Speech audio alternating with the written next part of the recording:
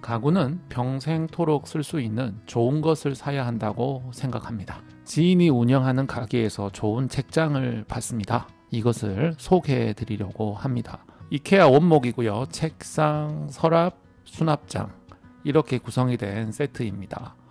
책상은 접었다가 폈다가 할 수 있어서 공간 활용에 상당히 유익하고요.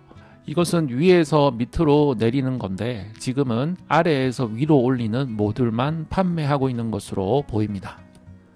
내려서 고정을 하고 또 접을 때는 풀고 올려서 닫으시면 되는 아주 신박한 제품입니다. 서랍도 있는데요. 철제 서랍입니다. 선반에 빗으로 고정하는 그런 방식입니다. 내가 원하는 개수대로 설치할 수 있어요.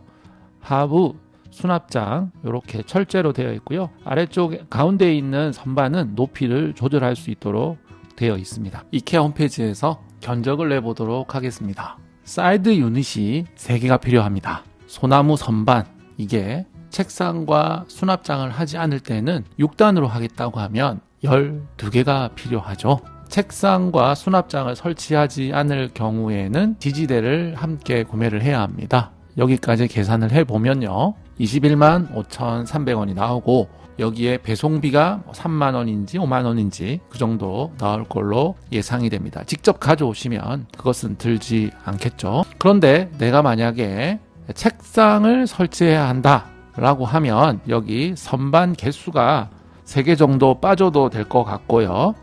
거기다가 책상 하나를 추가를 하게 되면 31만 원 정도 비용이 나오고 수납장까지 하겠다고 하면 7개 정도로 하겠습니다. 이렇게 하면은 40만 원 정도의 비용이 나오고 서랍까지 하겠다고 하시면 서랍이 두 개가 필요하니까 풀세트로 하게 되면 45만 원 저 같은 경우는 서랍 뭐 수납 뭐 이런 거 필요 없을 것 같습니다. 바구니를 이용하면 되니까요. 이렇게 해서 25만 원의 비용으로 책장 수납장을 설치를 하고 내가 나름대로 잘 꾸며보는 방향으로 하도록 하겠습니다. 견적을 내는데 사용한 엑셀 파일은 더보기 클릭하시면 다운로드 받으실 수 있습니다. 오늘도 행복한 하루 되세요. 감사합니다